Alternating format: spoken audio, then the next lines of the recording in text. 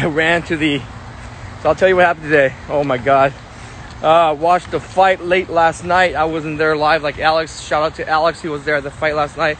So he's pretty tired. Uh, I see them partying till the wee hours of the night. like five, it's like four five a.m. and, I'm like, some of his buddies are still partying over in uh, the after parties of the Jake Paul party, Logan Paul, Floyd Mayweather. They're all out in Miami. So shout out to those guys, guys. Shout out to the Miami crew. So Alex is pretty pretty hungover right now. I can pretty much imagine. So that's the beauty, man. The beauty is we take over one another. This is the tab. You know, I'm his tab. He's my tab. He helps me out. I was not here Friday. Friday I got, you know, I just did not want to go to work. you know, it's one of those days, guys. It's okay to take days off. I see people posting, oh, it's 2 a.m. No offense to anybody that posts this stuff. Are you studying? I'm like, dude, if you're studying at 2 a.m., what time are you waking up? Sleep is very important, guys. Do not ever, ever, ever deprive your sleep. I actually only slept three hours last night, but then I overslept. I went to bed around 2:30 actually, California time, which is 5:30. Um, so I think I have four hours of sleep. That extra hour actually helped me. I feel fucking magnificent right now. I I got my I got up at 5 a.m. actually from my alarm, but then I was like, I'm gonna snooze it. Next thing you know, it's like 6:20, 10 minutes before the open, man. California time that is. So I woke up. I was like, holy shit! And I, dude, when I'm waking up late, all I could think about is stick to the process. So I stuck to the process. You saw all my charts over in Twitter, guys. Knocked it out of the park. Did well. Knock on wood. Avoided all of the meme stocks. You know, sometimes that's what you need. Sometimes you don't need to think. Overthinking kills you, man. So I got up really late today. I didn't want to wake up this late, so I was not prepared. But thank God Alex had the watch list out and it had the MIC guys. I'm seeing what people were trading. I just fucking jumped into the, you know, I waited for my lines and then that's what it was. I waited for my fancy orders ahead, and you saw the charts. And dude, I did today what I used to make an entire day of being an engineer. So actually, not a month I did in one hour trading, literally one hour of trading using MIC prep that Alex did. He gave me the watch list. So I just traded those ones that are not the meme stocks. And I did in one hour literally what I used to make an entire month being an engineer. You guys can totally do this. So once again, man, trading is simple, but it's not easy. Being in shape is simple, but it's not easy. Being in shape, what do you do? You eat right, don't snack, sleep well, exercise. It's simple. That's the game plan. But then we all deviate from our process, right, guys? And that's how we get clipped. So it's no different than being a day trader. Being a day trader, you have to be disciplined. Just like you want to lose weight. I'm fucking not disciplined losing weight, so I get fat. I fucking deviate all the time. I was snacking until wee hours of the night. Uh, so that's because my priorities are not there. You know, so if your priorities are not there to change your life, to make money, to be financially independent, then you're not gonna fucking do it. That's a simple life as that. And that's why people have these fad diets. Right? Same thing with fad diets. Same thing with getting rich quick in the stock market. Oh, I'm gonna load up on this fucking micro penny stock or micro penny crypto.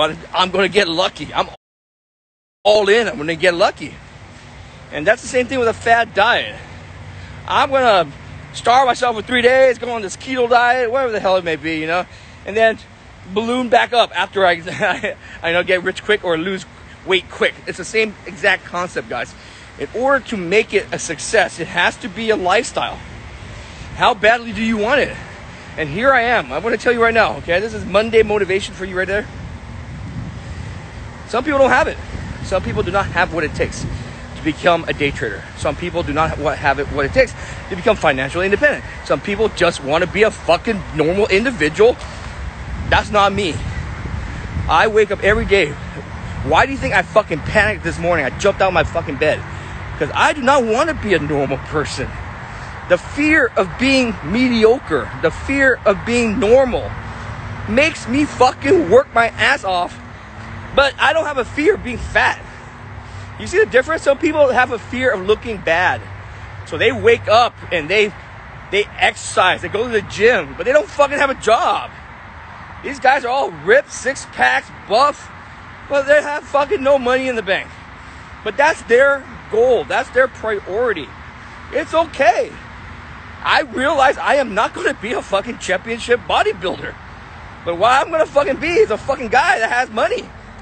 The guy's going to help people. The guy's going to help my family. The guy's going to feed. The guy that's be able to walk into any restaurant and order anything I fucking want. That's the type of person I want to be. And it's okay that I'm fat. But once again, you have to establish what do you want? What is your priority in life? Some of you guys are half-assing and pretending you want to be financially independent. Some of you are financially broke right now, but rather fucking spend your time at the gym. It's okay. It is okay. I'm not saying it's bad to go to the gym. I'm not saying it's bad not to be financially independent. It's okay. When I was young, when I was poor, when I was a little kid, I didn't fucking care about money. I didn't even know what money was. But the moment I found out that, oh shit, someone's calling me poor, it changed my life. I never knew I was fat until someone called me I was fat. I never knew I was a fucking immigrant and a broke ass immigrant told me that. So once again, guys, it's okay. Figure out what your priority is. So my priority, I've changed my life around ever since that day when I was a kid. I wanted. So my my whole thing was when I was growing up, I was bullied because I was poor. I was wearing women's fucking girls fucking shoes. I didn't even know it was women's girls shoes. It was just on a clearance bin that my dad bought me. So I was wearing these fucking shoes, and they're like, "You're wearing fucking girls' clothes." And I was wearing, I was riding a girl's bike. I'm like, "How's a fucking a bicycle be a girl bike?" You know, you the bicycle they, they have the the bar across for the guy, and the girl has a little dip. And I'm like, what the fuck? Here I'm as a kid, very happy that I didn't have a bike. We were poor, and I have a fucking bike. It turned out to be my sister's bike or my cousin's bike, who was a girl. And I'm like, what the fuck? This now now I'm getting bullied because I have a girl's bike? I didn't even know you had fucking such a thing that you can have a gender basis bike. It's a fucking bicycle. What the fuck? So am I eating cupcake? If I eat a cupcake, is that a girl food?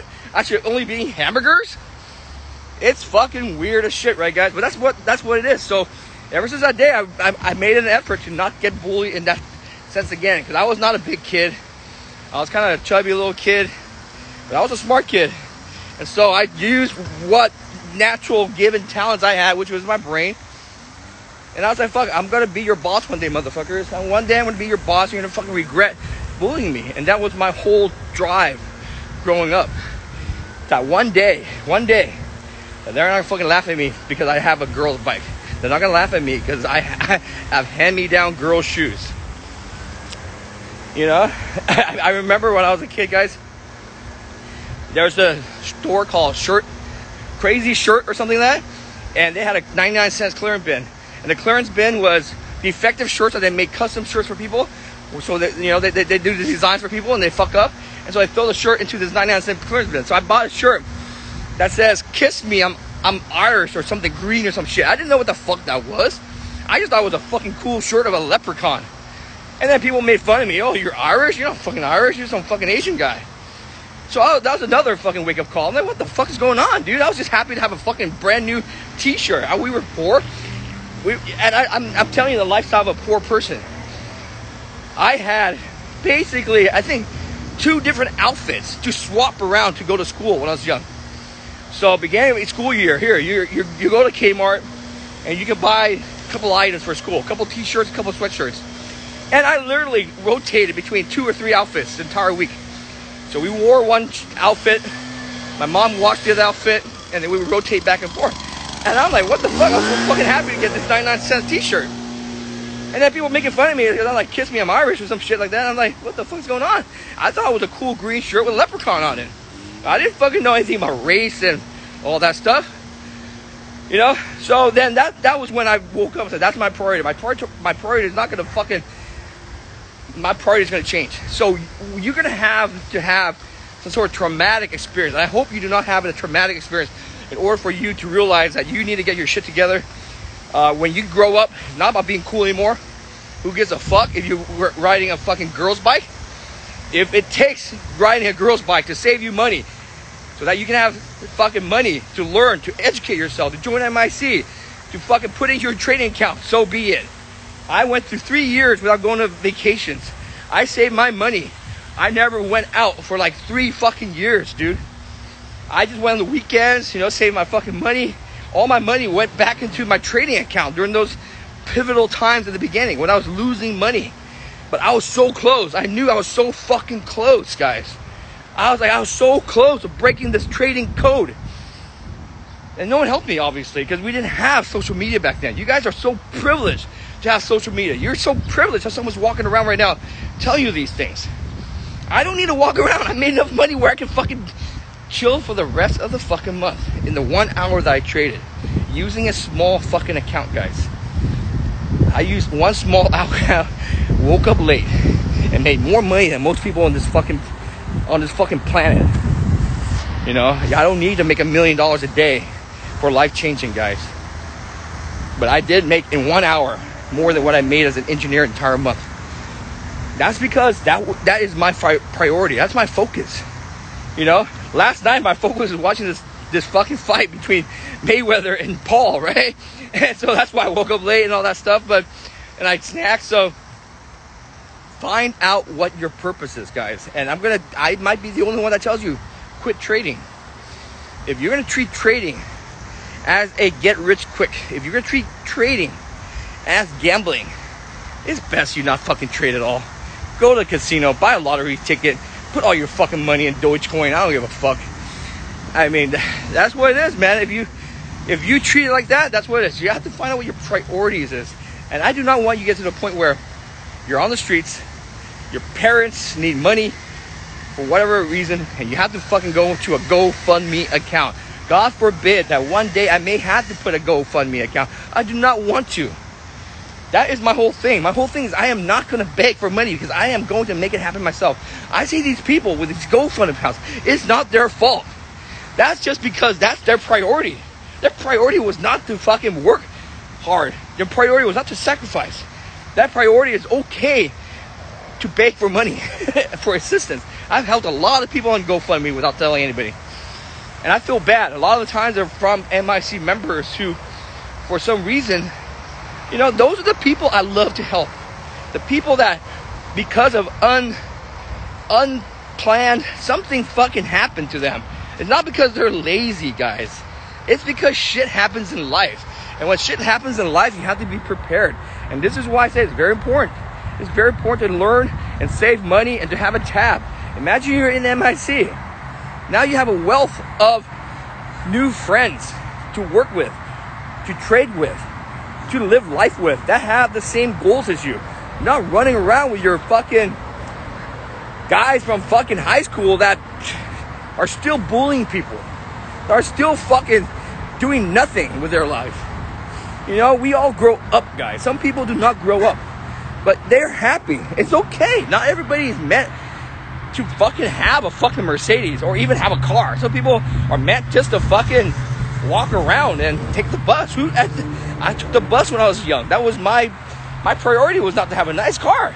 I did not even have a nice car till I was like, shit, man, in my late twenties, guys, in my, my late twenties, and I made a lot of money. When I was making millions of dollars a year, which I, you know, back then, when I was finally made it, I drove a used thirty-five thousand dollar car. And here I am. This was like fucking 15 years ago or some shit, right? 15 years ago making him over a million dollars a year 15 years ago with a $35,000 used BMW. Who the fuck does that, right, guys? I could have bought a fucking Lambo 15 years ago if I wanted. You know, Lambos are much, a million dollars back then was a lot of money, guys. But that was not my priority. My priority was to get my fucking, get it to the point where I'm gonna fucking work my ass off. It take three years off. Get to the point where I'm able to now do what the fuck I wanna do say what the fuck I want to say. Help whoever I want to help. Not go to work when I don't want to go work. that, that, I know I, I said a lot. I don't know what the topic was today, but I felt over the weekend I felt it needed to be said, guys. That you know what? To be honest, I, my whole sometimes in life, man, you go through these ups and downs, and then you you have these visions. And my vision was always before to push down everyone's door. You must do this. You must do this. You know, what the fuck are you wasting your potential? Why, why? Now I just realized, you know what, man, not everybody's made to do the same things. And it's okay, guys. You know, it's okay. That's why we have the tab program. That's why we have people help each other like that, right, guys? Not everybody's gonna be a superstar trader. Not everybody's gonna be fucking have a six pack. I know I will never have a six pack, and I'm okay with that. You know why? Because having a six pack means I gotta fucking stop eating pho. I gotta stop fucking snacking, and that, that to me is not worth it for me. I may die 10 years before I should die because of unhealthy eating habits, and I'm okay with that. Some of you guys are okay with being normal financially. Okay? Some of you guys are okay with living paycheck to paycheck, and that's okay. As long as you're happy, as long as you know what you're doing, as long as you, but don't cry about it and then make excuses and say you want to fucking do this, do that, but you don't have your shit together. You make excuses, guys. And that's the one thing, man. I'm gonna stop making excuses. You notice I, I don't make excuses. When I lose, I fucking lose. Last week I had a big loss day. I bounced back, obviously, but you know that big day, I, I fucking told people I lost. I showed people I was, uh, I didn't, I didn't quit MIC. I stayed till the very fucking end and showed people my fucking loss. Even did a fucking live event to fucking talk about it. Did a webinar with Tosh to talk about it. It was felt great. It was embarrassing as fuck, but I own my fucking thing, and I am, dude. That's the figment of the past now. Today's Monday. I don't fucking forgot what the fuck happened last week. To be honest. I'm now fucking. I do. I was so razor sharp today. Take a look at my charts, guys. I, I'm like, holy shit! I just pulled out a matrix or some shit today. and I woke up, literally, literally, I woke up and ran to my desk 10 minutes before they opened. I'm like, what the fuck is going on? Located my shit. I, I didn't even have time to get, be fearful. I didn't have time to panic.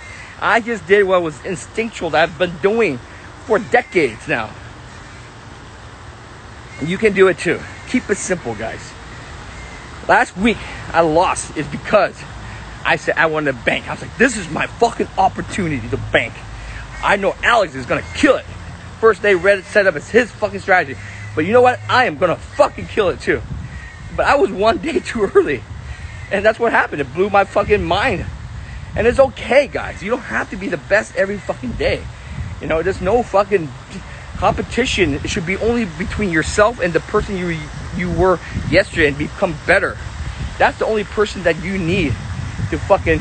When I fucking go in and I don't think about trading, I am fucking on the money, man. But when I start to fucking deviate from my own process because I think I'm gonna bank, bank, that's when I do not bank. Think about this. The biggest days that you bank are usually the days that you never thought you were gonna bank. You usually wake up and go, holy fuck, what the fuck happened? I just did well today. And the days that you you you pressure yourself to doing well, you fuck up. so go into each day with a clear head, no pressure. Pressure is what kills people in life, guys. As an Asian, as an Asian, my parents pressured me to be a doctor, to be a lawyer, be an engineer, what the hell it is. Pressured me to be the best. Pressured me to have fucking. I had 4.0. They wanted 4.4 GPA. I had fucking straight A's. They wanted fucking straight A plus plus pluses. Just shit like that, guys. The pressure is what kills people. Each person uh, has an individual uh, personality, difference about them, right, guys? Just because someone is not academically book smart doesn't mean that they're dumb. Just because someone's book smart doesn't mean they're smart. Their life is more than just a bunch of numbers on the paper, guys. Look at my lifestyle. My lifestyle is not the best, but I I do quite well. Knock on wood. You know, I do okay for myself, guys. I am I am. This is why I'm showing the world that I don't I, don't, I didn't go to no fucking private. I didn't go to no fucking private school. I didn't go to no Ivy Leagues. My parents were came from immigrants. They barely spoke. They did, they actually spoke no English when they came over America. I spoke no English. And look what we came out today, guys. You'll be very surprised. I speak with a perfect accent. You know, I speak like a California guy, obviously, but uh, you know, people wouldn't be surprised I'm an immigrant. But I am. People are surprised by the color of my skin. So my whole point to you guys is this, man. We're all very individual based. And it's that individuality that makes us great, guys. Because if, if everything is just based solely on numbers on the screen, your IQ, how good you look, how tall you are, how skinny you are, your weight, whatever, dude, take a look at the most successful people in the world. The most unlikely people become the most successful. Fucking Jeff Bezos. look, look at what he looked like back in the day, right? Look at him now. Same thing with Elon Musk. Elon Musk has Asperger's, right? That's kind of like a little fucked up little um, like um, what's that? Like um, Asperger's is like what was that fucking shit that you get? Uh, uh, anyways, uh, he has some sort of like social skill issues, right? So let me bring someone on. I love bringing someone on. It's been a long time, and then you can ask about my trades today, guys. Uh, that'd be better than that because I, I went a little rant today, guys. So raise your hand. Who wants to come on? Each day I speak the facts, guys. People may not like me. I'm okay with not everybody liking me. I get trolled every day, and it's okay. You know, every online, people love to be liked by everybody online. In real person life, in real life, it's like online life is so different. It's so fucking weird. Like everyone wants to love each other. Everyone's trolling each other. You would not fucking come to my face. I would not come over to your face and talk shit about you because I don't get hit in the face. But for some reason online, you can have a fucking five different fake troll accounts talking shit. You know, it's, it's weird. So treat your online life, guys. Use your social media to learn to better yourself, not just to fight with people online. All right, well, raise your hand who wants to talk. Uh, you don't have a camera to talk? I can't come on, bro, because uh, at least gotta be uh, Timbo. I'm so sorry. IG Live, you need a camera. How do you get on Instagram with no camera? I guess it's on um, your PC, right? Mr. Xander. All right, man. I'll bring on uh, the high schooler. Never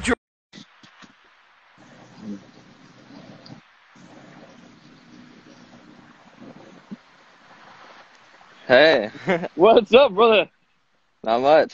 Shouldn't you be in class? Know? Yeah, I got off for summer vacation last week. oh shit, man. Okay, tell everybody how old you are, who you are, where you live, and your name and all that stuff, man. Uh, hi guys, I'm Xander Odom. Uh, I am 17 and in my junior year of high school. Uh, basically, I just started training with MIC like a month and a half ago, and it's been great. 17, bro. Where where do you live? Give a Uh, shout out to your school. Central California. It's uh, I go, I, like I go to school in Reedley. Oh, that's awesome, dude. Oh my god, I, I wish, bro, that I started at 17. Maybe not. I, I'm not as disciplined as you are, man. I think you you are more disciplined than me. If I started at 17, I may never trade. I would Yeah. say I hate trading and it's a scam. So let's talk about your journey. Like, uh, Yeah. Talk, tell about your journey. Go ahead. So I started like I learned about trading when I was like 13 or something, but it was just yeah, it was just like me trading with ten dollars in Robinhood. Um, but you know, I I wasn't disciplined at that age like no one is, and so I didn't really take it seriously. Uh, I didn't start taking it seriously until like uh, January of 2021, uh, and I was just learning OTCs. But you know, there was no process with OTCs, and so I decided to join MIC because I saw that everyone was talking about how good their mentorship is, and it's so true uh, like already within a month I've had like way more way better results than trading with OTCs uh, unlisted and it's, it's just been great so far. How'd you hear? So how'd you hear? You from a word of mouth? Is that what it is? Because like Yeah, 17 years yeah. old, man. That's amazing, bro. Yeah, I'm, I'm really glad that I learned about trading so soon. So how tell people how you got started? Meaning like, okay, you got ten dollars in your Robinhood. How did you able to afford MIC? How are you able to trade these stocks now? So teach people how to get started. Right. Well, I mean, if you guys are above 16 years old, then you are able to get a job. And uh, I mean, if you like, no, like if you say you can't afford it, uh, I feel like there's some way you could get some money, maybe side hustles or just save every dime. Like stop getting Starbucks every day. Don't don't get the little things because every little dollar adds up. Uh, when I was like 16 and a half, uh, half I got um, a job at like a coffee shop, and I've just been working there like 20 hours a week, and it's all adding up. I have like a three thousand dollar account to trade with, and also just start small because that's all you need. Dude, dude, man, I I, I want to fucking give you a giant ass hug right now and give you a high five, motherfucker. I love it, man. I, I'm gonna stop cursing because I'm not supposed to curse little kids, but dude, listening to you, I'm like, holy cow, you are like, you sound like way above your age. You sound like a freaking role model that is gonna go back to your high school and, and, and, be like hung up your name retired on the banner like this kid makes no excuses. 16 years old, got a job in a coffee shop, saved his fucking money, saved his money to learn this, and and this, and you know at this age, bro, it's all about learning. because with a ten dollar account, you're not gonna become rich. But you know what you're gonna become? You're gonna become process driven. You're gonna become discipline driven. You're gonna learn way ahead of other people. You know, you know, this is like the military, man. You you you've done something more than, dude. Most people have done in their entire lives already by 17, but. yeah, and if you've worked hard, like do, doing any side hustles for like even a hundred bucks, uh, trading with that hundred bucks will allow you to like feel the emotions of it because you know you worked hard for it. So, what are you trading right now? Tell us what you're learning and what is. This is amazing, man. This is like the. It's like, dude, guy, he's 17. Xander's 17 years old. What is your excuse? right? Oh my god. Yeah. So, so basically, right now, um, I, when I joined MIC, I started trading long because that's what I knew on on the OTC side. But like, I wasn't understanding long. Like, I wasn't getting it. Uh, but I understood the short side. But I was always scared to short because you know, your losses are infinite, even though like I didn't think of hard stops. Uh, but like the rules that MIC like uh, talks about will keep you safe on the short side, and I just understood the short side a lot more. Like I just I saw I saw the opportunity on it way more than long, and so basically like right away I I saw instant results. I was just uh, watching the watch list. Um, I mean, I'm so far I'm six for six on trades. I'm I'm waiting for a loss because I want losses to see what see where I can improve. I'm just laughing. You guys hear that? He's doing so well, waiting for a freaking loss to learn. That's fucking fucking amazing. And and the reason why you're not having these big losses is why. Tell everybody why. Uh, well, I mean, I'm just like I'm playing high probability setups. Uh, I started with like i I'm like four for four on low hanging fruits, and my last two trades were you know the death candle through VWAP, and and I'm starting to transition to that because I'm getting like better risk reward for um for my my account being under PDT. Where are you Where are you trading at? That's able to do this. Are you still at Robinhood? No, no, no, no. Uh, uh I'm trading at Trade Zero because you okay. know, I really want Co- I really want Cobra, but like uh, I'm I'm a, I'm a ways away from 25k. but Trade Zero has been really good. Okay, both good. of both of those are our partners. So Cobra is the best for USA guys, and um, Trade Zero if you don't have the money overseas or lower in the United States. So, oh my God, Xander, this is I've never I fucking I this is the first time we spoke each other face to face. We talked to each yeah, other online, yeah. and I'm like I I. I'm to be honest. I'm like this 17 year old kid. What's he? I love people learning, but I'm like I'm like how can you take his focus? I, I know that the twin guys, they those guys are freaking into it, you know, and I freaking yeah. love it. Uh, so, yeah. So I'm like, dude, hey Xander, I'll do this, man. I'll do this for you. Hey Tosh, you're out. I'm gonna, I'm gonna give you. I'm gonna give you a free fucking year at MIC, bro. Use that fucking. take that two hundred dollars every fucking month. Put in your trading account and fucking learn, bro. You are oh now fucking free for your whole entire year, bro. It's fucking cool, man. I love. This is the least I could do. This is fucking amazing. You're gonna be a fucking role model for every fucking person. Okay? That that helps so much. That helps so much. Cause I'm I'm planning on opening a second account with Trade Zero because I'm under I'm under 18, so I need my parents' social security to start an account. So I'm planning on using my mom's and my dad's to open two accounts. And so dude, that's so smart. That's man, so smart. Thank you guys so much. Oh my god, dude! You're gonna open up a trading club at your school and teach everybody. I want you to be the dude. This is this is amazing, man. You remember me one day. You'll be the next Jeff Bezos or something. Actually, next Steve, Steve Cohen, the big old trader guy the next fucking, uh, you know, you're, you're gonna be the big old hedge fund upcomer. You remember us little guys? What are you making there, Xander? You remember us? oh my god, this is amazing, man. I, I, I mean, guys, you heard it right here, man. I mean, I, I had no clue. I didn't know that he did all this work. To be honest, man, I, we we have so many people members at MIC. I want to get involved in everybody's life, but I just cannot do that because, like, dude, I, I have such a big heart. Because you see, man, I I listen to you now. I'm all like, like like fucking like you know I'm like so I'm, I I wish I could help everybody, but but I just cannot, right? And so the best way that I can help people is to help someone like yourself, who in turn helps another person. We call that pay it forward kind of thing, right? Yeah. So I, I love the fact that you come on here, man. You've been you've been raising your hand for the past year to get on IG Live. I see that, and I just thought you were in school, you know. So I was like, okay, today, and and it's the consistency that I love. You see that? Xander is here, waking up every freaking live. He's on here, asking to be on to show the people. He's very. I'm very proud of you, brother. Thank you. Parents, I'm telling your parents, dude, you're, you know, man. Yeah. And uh, if you want to get sponsored, Xander, for any trading meetups in your school area, let us know. Let Oliver know. We will sponsor every pizza party. You cannot have beer, obviously. You'll have Coca Cola, Sprite.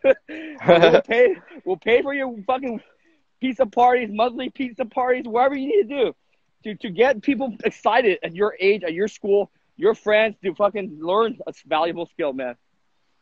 Yeah, and I'm going to Florida, Orlando, uh, in July, so I'm planning on starting a meetup there. So if anyone wants to come, I'm gonna be planning on after hours.